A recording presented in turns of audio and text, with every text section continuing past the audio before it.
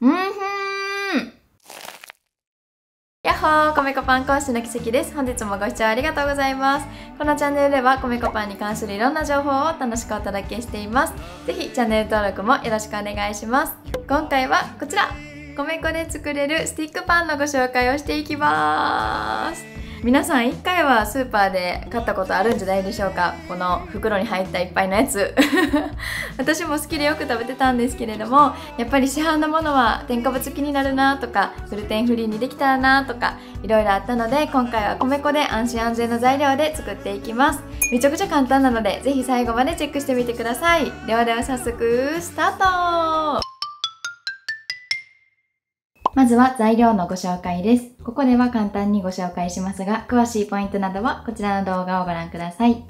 まずは米粉です。米粉はパン用米粉、みずほチカラというのを使用しています。米粉によって吸水率など異なってきますので、同じレシピで作る場合はこちらの米粉をご準備ください。片栗粉、お砂糖、お塩、油に関してはご自宅にあるものをお使いください。次に大箱です。大箱を入れることでパンがまとまります。他にも少量のものなどもありますので、ぜひ概要欄チェックしてみてください。次にドライイーストです。今回は金サフという種類のものを使用していきます。ドライイーストはパンを膨らませる酵母なんですけれども、これを入れることでパンの風味が出たり膨らんだりします。こちらはとても膨らみやすくて美味しいパンが仕上がります。そしてお水です。夏は発酵が進みやすいので30分ぐらい冷蔵庫で冷やしておいた15度から20度のお水を使用していただくのがおすすめです。冬場は少し温めて30度ぐらいにしていただくと発酵が進みやすく時短になります。そして今回チョコチップ入れていきます。製菓用の溶けにくいものがおすすめですがない場合は普通のチョコチップでも代用可能です。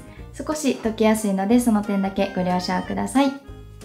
では計量していきます。まずははかりの上にボールを乗せてゼロにします。そしたらここにパン用米粉水チ力を 150g 入れます。米粉を入れたらまたゼロにして次は片栗粉 15g 次お砂糖 15g になります。お惣菜系の何か具材を入れたい方は 13g とかでいいかなと思います。じゃあ次お塩 2g 大箱 4g 入れます。ドライイースト 3g 粉類はこれでバッチリです。あとお水 150g と油 6g になります。お水は基本的に常温で大丈夫ですが夏は発酵が進みやすいので30分ぐらい冷蔵庫で冷やしたものを使っていきます。今回は3つ分のチョコチップ 20g 用意しています。これはお好みで量を増やしたり減らしたりしてもらっても大丈夫です。後で成形する時に使っていくので一旦冷蔵庫で冷やしておきます。では生地を作っていきます。まずはボウルの中をしっかりと泡立て器でぐるぐるぐるぐる30秒から1分ほど全体のムラがなくなるまで混ぜていってください。たまに傾けながら混ぜてあげるとしっかりとムラなく混ざってくれます。はい OK じゃあこんな感じで全体混ざったらホイッパーをさらばスケッパーに持ち替えてお水と油入れていきます。一応測りながら入れていくのでもう一回測りの上にボウル乗せてゼロにしてでお水 150g 一気に入れちゃいます。で23回ぐらい大きくかき混ぜたら途中で油を入れていきます。油 6g です。忘れそうな方はもうお水と同じタイミングで入れてもらっても大丈夫です。最後に入れるとちょっと生地との馴染みが悪くなってしまうので最初から途中で入れるようにしてください。ではここからどんどん手早く混ぜていきます。大箱っていうのを入れるとどんどんお水を吸っていくのでここからは手早く作業していくのがおすすめです。でまず大きくこんな感じで大きく大きくかき混ぜながらだんだんと粉類と混ざってきてすごいなんかとろろみたいな感じになってきます。そしたらボウルにすりつけるような感じで押しながらこうやって広げていくようにしてもらうとすごく混ざりやすいです。たまにこのボールの周りについた粉をぎゅーっとスケッパーで落としながら全体を混ぜていきます。ひたすらこの押し広げ作業を続けていきます。はい。ではこんな感じでだいぶまとまってきてボールからも剥がれやすくなってきました。あとスケッパーからも外れやすくなってきたら一度生地をこう広げていただいて材料の混ざりムラがないかっていうのを確認していきます。イーストとか大箱とかそういう固まってる箇所がないかっていうのをチェックして大丈夫だったらもう一度真ん中に生地を集めてきてください。はいじゃあ真ん中に集まったら指で生地の硬さをチェックしていきます。理想の生地の状態はペタペタ表面触ると指にくっつかなくってギューッとつまむとこんな感じでくっついてくるような生地感になっています。この生地感になればバッチリです。もしあのペタペタ触った時点でビヨーンってくっついてくるようであればちょっと水分多いので米粉を 3g ずつぐらい足してあげて調整してください。もしくは大箱。これはあの 1g 入れるだけでかなり変わってきちゃうので 0.1g ぐらい足してあげるようにしてください。逆にギュッて握っても全然くっつかへんっていうぐらい硬い生地の時はお水が足りないのでお水を 3g ずつ足してあげてまたこう混ぜてっていう感じで生地の硬さを調節してください。じゃあですね真ん中にこんな感じで集めた状態のまま一次発酵していきます。乾燥防止のための霧吹き。全体に12回かけて上からラップ密閉させてもらってこのままこの状態で発酵していきます。はいでは一次発酵夏は40度で7分冬は40度で12分。春や秋頃は40度10分が目安になります。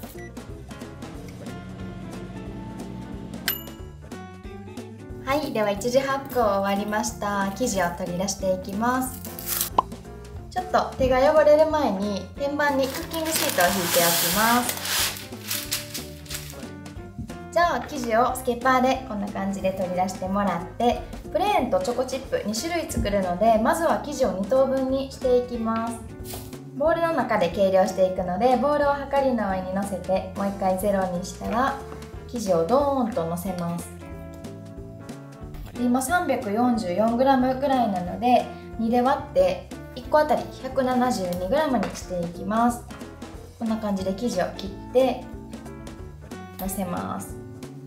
でちょっと多かったりしたらまた取り出してきて 172g になったので OK ちょっと半端な生地もここにくっつけてで一旦これ2分割にしました。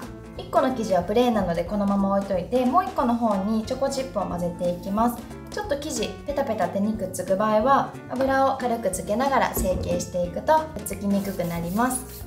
じゃあ冷蔵庫からチョコチップ取り出してきたら片方の生地を少し広げていただいてここにチョコチップをバーッとのせます。でこんな感じでちょっとくっつけてもらったら折りたたんでギュッて押す。折りたたんでギュッて押す。夏は手があったかいので特に焼き菓子用のチョコチップとかじゃない場合はすごいあのチョコ溶けてくるのであんまり触りすぎないようにしてもらった方がいいかなと思います。よし OK じゃあこんな感じでなんとなく全体にチョコチップ行き渡ったなっていう感じになれば OK です。はいじゃあですねここからまた3分割にしていくので全部の重さを出して 172÷3 で57ぐらいですね。でこういう継ぎ足したちっちゃい生地は生地の裏側につけといていただくと表面きれいなまま保たれやすいので後で丸める時にすごく楽になります。チョコチップはチョコチップの分重さが増えているので 192g でした。惜しい。はいでは分割できたので生地を丸めていきます。手に軽く油をつけてもらったらこんな感じで手は山なりにしていただいてお団子丸めるようなイメージでコロコロコロっと手のひらの上で転がしていきます。こんな感じでつるんとなったら OK です。はいではどんどん丸めていきます。綺麗な表面できるだけ上側にしてもらって手を縮めて広げてしまうとどんどんぺったんこなお餅みたいな感じになってくるのでこの受け手の方も縮めて上も縮めてやってもらうとまん丸になります。ではですねスティック状にしていきます。じゃあ生地をこうこんな感じで台の上に置いてもらって手のひらでコロコロコロコロっと転がしていきます。手はパーにしてもらって真ん中をねこんな感じで何往復かしてもらうとどんどんどんどん生地が伸びてきます。でこのままだと真ん中が一番細い状態で端っこがちょっとプニって分厚くなってると思うのでちょっと端っこ手で広げていただいてだいたい15から1 8センチぐらいがいいかなと思います。1 8センチはこの短い方2枚分が1 8センチぐらいなのでこんな感じで広げたら天板に乗せていきます。できるだけまっすぐに置くのがおすすめです。はいじゃあチョコチップもやります。プレーンと同じ感じでコロコロっとまず真ん中転がしてで左右ちょっと両手で転がしていきましょう。コロコロコロでちょっと厚みがねできるだけ均一になってた方が綺麗なのでこんな感じで形整えてはいこんな感じで6個とも成形できました。この後二次発酵して焼いていく時に結構生地膨らんでくるので間隔できるだけ開けて並べていってください。でこの天板の上でちょっと最後形を整えていきます。できるだけまっすぐにしておくっていうのとあとは分厚いところがあればちょっと手でこう縮めてあげたりとかして厚みをできるだけ均一にしていきます。今の生地の状態は結構表面つるんとしてる状態です。この後二次発酵していくんですが二次発酵が終わると表面がちょっとざらついてきたりとかシワっぽくなってきたりします。あとはプツプツプツってちっちゃい気泡がいくつか出てきます。でサイズ的にも一回りぐらいちょっとふっくらと大きくなってくるのでそんな感じの変化が見られたら二次発酵終了になります。では発酵していくので乾燥しないように霧吹きを全体的に少し離したところからかけてもらって上からラップなどをしていきます。冬場は固く絞った濡れ布巾とかをかぶせてからラップしてあげるとより乾燥が防ぎやすくなります。この状態で発酵していきます。二次発酵の時間の目安は夏は室温で7分から冬は40度で5分。その後室温に取り出してきて10分から様子を見ています。ただあの成形するスピードだったりとか部屋の温度などによっても全然変わってきますので生地の状態を見ながら発酵を進めてください。そして室温で発酵している間にオーブンを予熱していきます。200度で予熱スタートしてください。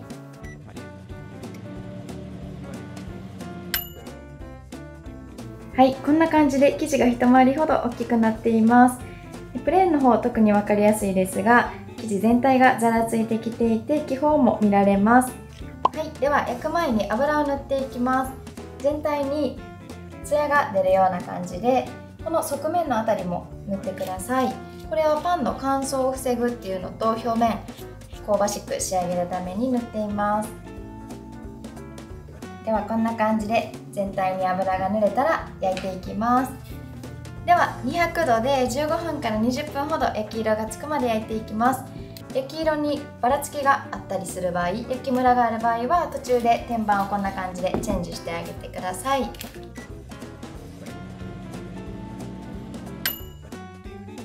はい完成しました。めっちゃ美味しそう。もう特にチョコの方とかもう香りからして見た目からして今すぐ食べたいっていう感じなんですけれどちょっと米粉パンは粗熱取った方が美味しいのでまずは10分から15分こんな感じで網の上に置いて冷ましていきます。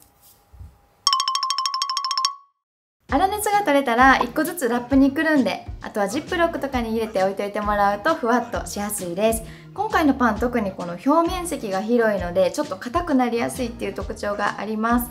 温め直す時はちょっと霧吹きをしてからトースター入れたりとか軽く蒸してあげたりするとさらに美味しくなるかと思います。はい。じゃあですねせっかくなのでチョコの方いただきたいと思います。あー美味しそ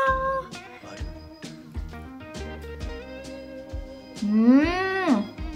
うん。もう買わんでいいですあのスーパーのやつ。